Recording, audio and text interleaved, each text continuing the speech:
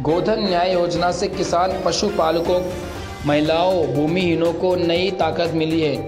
उन्हें आमदनी और रोज़गार का नया ज़रिया मिला है। साल भर के गोठानों में गोबर बेचने वाले ज़िले के पशुपालकों, किसानों एवं ग्रामीणों के बैंक खातों में तीन करोड़ तिहत्तर लाख रुपए का सीधा भुगतान किया जा चुका है।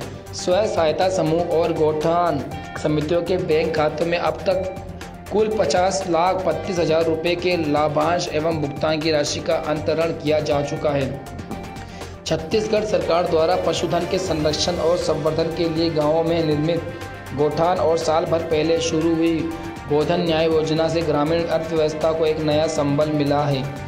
यह योजना ग्रामीणों की अतिरिक्त आय का स्थायी ज़रिया बन गया है। गोठान में गोठन न्याय योजना के तहत अब तक तीन करोड़ तिहत्तर लाख रुपए से अधिक की गोबर खरीदी जा चुकी है। खरीदी गई गोबर ज़िले के लगभग दो सौ सैंतालीस गोठान में बहुतायक रूप से वर्मी कंपोस्ट और सुपर कंपोस्ट का उत्पादन महिला समूह द्वारा किया जा रहा है। गोठान अब तक उत्पादित 25 या सतहत्तर पॉइंट दो तीन क्विंटल खाद विक्रय किया गया है।